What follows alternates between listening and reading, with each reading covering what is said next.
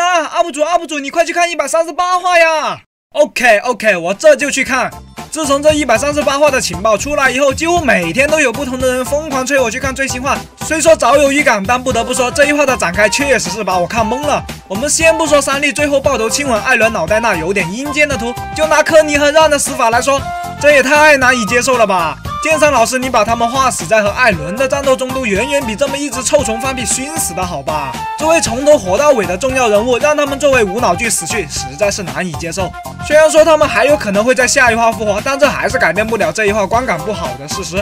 幺三八出来以后，声称自己不仅被刀，还被喂了一波含糖的屎的剧学家是越来越多。与此同时，高呼巨人烂尾的声音也越来越响。就目前来说，烂不烂尾我不清楚，毕竟每个人对烂尾的定义都不太一样。如果说有的人喜欢这类的展开，那他们一定不会认为这是烂尾。就我而言，我对这一话的看法也仅仅是体现在观感不好这一层面上而已。这里的观感不好，指的是让和科尼的死法，以及艾伦被三笠砍头后亲吻的构图。就剧情来说的话，这一话其实是挺好的。全员变巨人，手里沾满鲜血的人，最终都会得到应有的惩罚。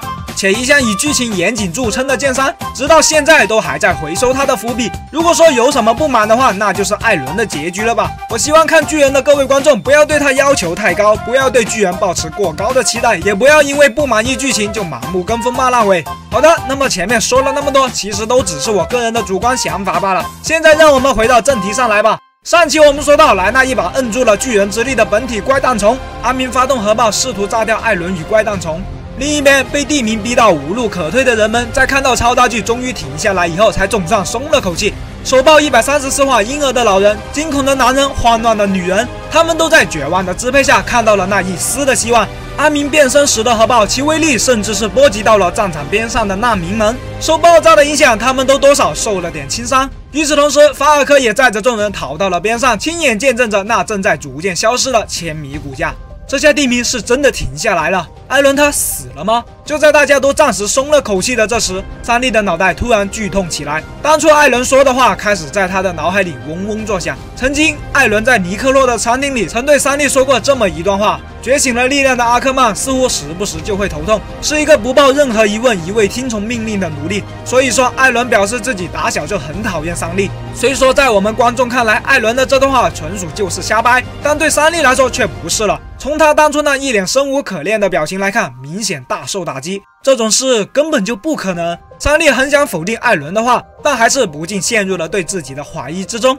待烟雾散去之时，退居边上的联军小队众人这才注意到旁边的亲友们。幺零四七的众人，他们看着眼前马来战士和自己亲人重逢的场面，内心五味陈杂。不能说是毫不后悔，但对于阻止了地名这件事，他们应该没有做错吧？历史正在发生着巨大的改变，他们不禁发出了这样的感慨。安妮疑惑地向莱妈问道：“为什么从收容区来到这里？”是安妮的父亲，他带着大家逃到了这里。他现在就在安妮触手可得的地方。为了能再次回到故乡见到父亲，安妮葬送了不知多少人的生命，遭受了不知多大的压力。现在他终于可以如愿以偿地见到自己的父亲了。想到这里，他奔向了父亲的地方。卡琳娜阿姨莱娜还在战斗哦。沉浸在见到亲人时的喜悦之余，贾碧把莱娜英勇无畏的战况告知给了莱妈。莱妈露出一脸欣慰的表情。是啊，我都看到了。一发巨大的核爆，大家都在担心着还坚守在战场的莱纳和阿明。从核爆的巨坑之中，阿明的超大巨爬了出来，而莱纳的凯之巨人，即便是满身疮痍，他还是再次站了起来。就连在一旁一直担心着莱纳的让，也没想到莱纳居然真的没事。不过比起这个，他们更惊讶的是，那条发光蜈蚣在那场大爆炸之下居然还活着，那到底是个什么玩意？众人越来越感到迷惑与害怕。总而言之，无论如何，他们都不能让那条虫子活着。与此同时，阿明的身后又发生了一起核爆。果然啊，不可能那么轻而易举的就得逞。艾伦以超大巨的姿态再次复活，那双坚定的眼神给在场的众人带来莫大的压力。糟了，不能让那只臭虫和艾伦接触，不然不知道会发生什么，说不定地名会再次启动。作为目睹过上一次艾伦和虫子接触的假币，现在他必须提前告知大家，阻止艾伦。那条会发光的虫子绝对不能让它活下去。然而，这可是一条连核爆都炸不死的虫子，联军小队又要靠什么与之抗衡呢？眼下他们的目标应该是艾伦。兵长认为我们要干掉的是艾伦，不杀了他的话，这场噩梦永远也不会结束。好不容易的重逢，现在他们又要告别自己的亲人，为什么会变成这个样子呢？艾伦他还是没有放弃，三笠痛苦纠结的神情表露无遗。阿明的超大巨对峙上了艾伦的超大巨，莱纳则朝着地上活蹦乱跳的怪蛋虫奔去。另一边，马来士兵与艾尔迪亚人数，他们互相搀扶着受伤的彼此。如果不是马来方的弹药已尽，搞不好他们又要继续打起来呢。现在他们彼此都达成了共识，要齐心协力共度难关。随着身后传来的一句掺杂了多年思念的父亲，安妮如愿以偿地见到了自己的父亲雷恩哈特先生。突如其来的重逢，父女俩崩在了原地，互相对视。霎时，一阵浓厚的烟雾笼罩了他们所在的位置。战场上的莱纳和阿米也注意到了这团烟雾，烟雾源正是那条罪不可赦的怪蛋虫。从他身上喷出的烟雾，现已覆盖住了战场边上的所有人。难道说那条虫子它死了吗？不对，这可不是巨人死掉时发出的臭味啊！这该不会是和拉加克村一样的手段吧？科尼提出的这番猜想惊吓到了幺零四七的众人，兵长迅速做出了指挥：三笠、皮克，乘上法尔科的巨人，快点离开这里！皮克作为外人，这时自然是不明所以然了。他下意识地向兵长问起了缘由。阿克曼族和拥有巨人之力的人大概是例外，但其他人会怎么样？你应该再清楚不过。残酷的现实摆在皮克眼前。当初他与吉克用了同样的手段，将科尼的村子变成了巨人村。现在他的亲人将受到同样的惩罚，已经刻不容缓了。兵长生气地催促他们动作快。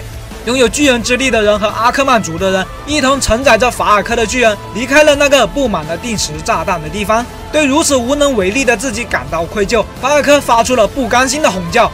吸入了毒物的科尼、让以及艾尔迪亚人。他们已经相当于被宣告了死刑，只能是一味等待死亡的降临。这就是我们的结局了吗？大概是吧。将剩下的事托付给同伴，这便是调查兵团最后会做的事了吧？科尼和让在生命的最后一刻，不禁感慨起了自己的人生。他们开始回忆起了当初为什么要加入调查兵团。都怪你，我们才会想要拯救人类的。明明是一句责备的话语，可你的脸上却没有一丝责怪的意思。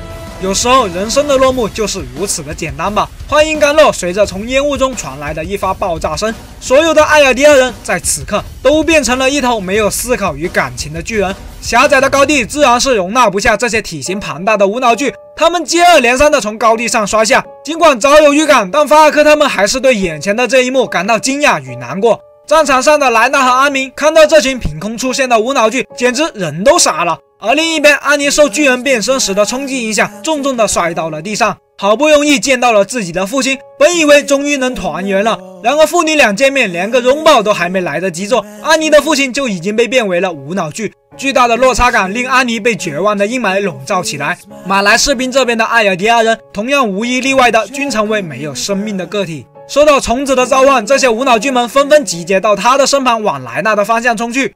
居然还召唤了小兵，开什么惊天大玩笑？我绝对不会让你们通过这里的。莱纳意志坚定的誓死捍卫着这一条防线。作为从头到尾都在挨打的莱纳，他贯彻落实了自己的沙包之刃，不愧为巨人之盾。你就真的那么喜欢地狱吗，艾伦？既然如此，那我就陪你奉陪到底。阿明话语刚落，彼此拳脚相向。战斗进入白热化阶段，莱纳一股脑的死冲怪蛋虫，在蜂拥而至的无脑剧中，他看到了科尼、让、假币以及自己母亲变成巨人的模样。深受打击的他开始明白了眼前的这群巨人究竟是群什么东西。与此同时，皮克与安妮也加入到莱纳的战斗中。我们究竟要怎样才能得偿所愿啊？大家终究是一群沾满鲜血的悲哀之人。战斗的最后希望寄托到了两名阿克曼的身上。三笠的脑袋已经再也无法忍受了。他想逃避眼前的事情，想回到那个一如既往的家。能杀掉艾伦的只剩下我们了，振作点啊！兵长在一旁不断的稳定三笠的情绪，但对三笠来说，现在发生的一件又一件事情，对他的伤害都太大了。要亲自葬送自己喜欢的人，这是一件多么痛苦的事啊！好想回到我们的家，这是他现在最大的心愿。现在画面切换到另一处。这里我做个解释，现在要讲的究竟是 if 线的内容，还是说单纯只是三笠的幻想？目前仍无法得到确切的证实，观众朋友们可以凭自己的想法去做理解。待三笠再次睁眼，是手握钓竿的艾伦出现在他眼前。神志不清的三笠已经记不清自己是什么时候睡着的了，但他总感觉自己好像做了一个很长的梦。今天已经没什么事要做了，我们就悠闲的度过吧。话说我钓到一条很大的鱼呢。艾伦一脸清闲的表情，这让三笠有点懵懵懂懂的。他不经意的流下了眼泪，说道：“我在想，我们就这样待在这里，真的可以吗？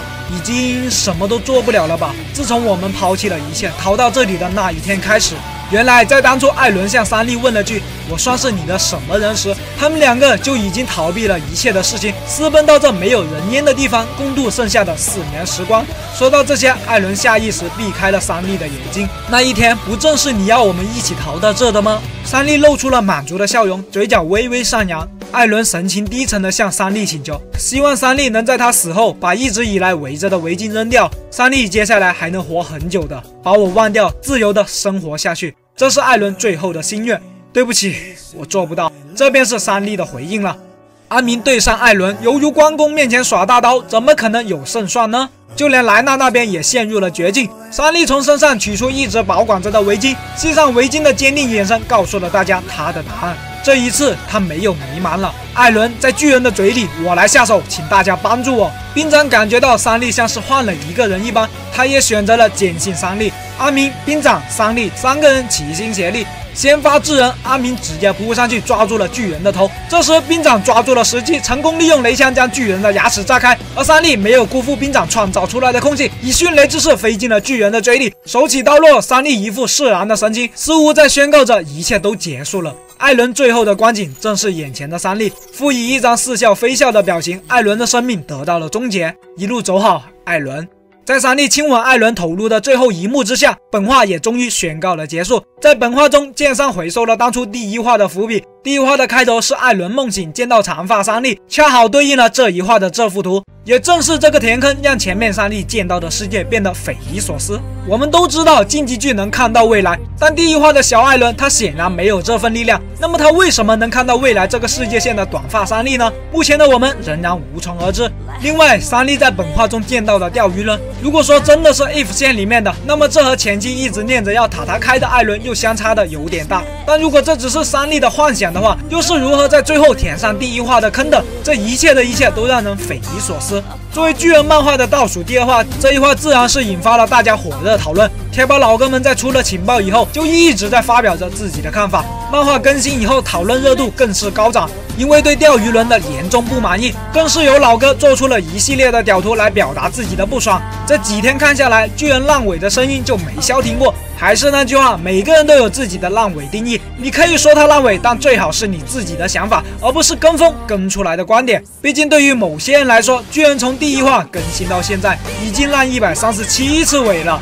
好的，那么本期视频到这里就结束了，感谢每一位看到这里的观众，我是龙象，我们下期再见。